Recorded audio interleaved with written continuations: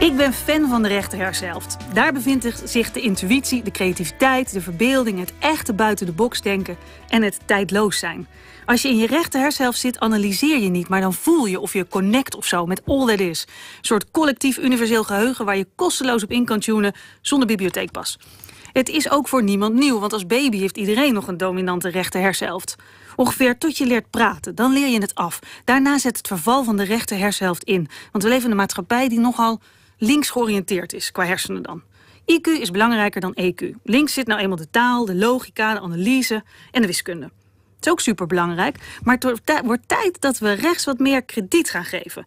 Af en toe niet rationeel nadenken loont. Vroeger speelde ik mijn slechtste hockeywedstrijden als ik nadacht. Maar de wedstrijden waarbij ik aan het einde op het scorebord moest kijken of we wel gewonnen hadden, dat waren topwedstrijden. Ik kwam erachter dat ik die flow ook gewoon zelf op kon roepen door me simpelweg minuten voor de wedstrijd terug te trekken in de kleedkamer met mijn Discman, zo oud ben ik, om even die ene plaat te horen. En geloof me, die rationele kant zit heus niet alleen mij in de weg. Dat stemmetje dat zegt, kan ik toch niet, het ziet er niet uit, ik ben te dik. Die zit ook links. Op pauze zetten dus. Claim je maximale brein door je rechter hersenhelft te stimuleren.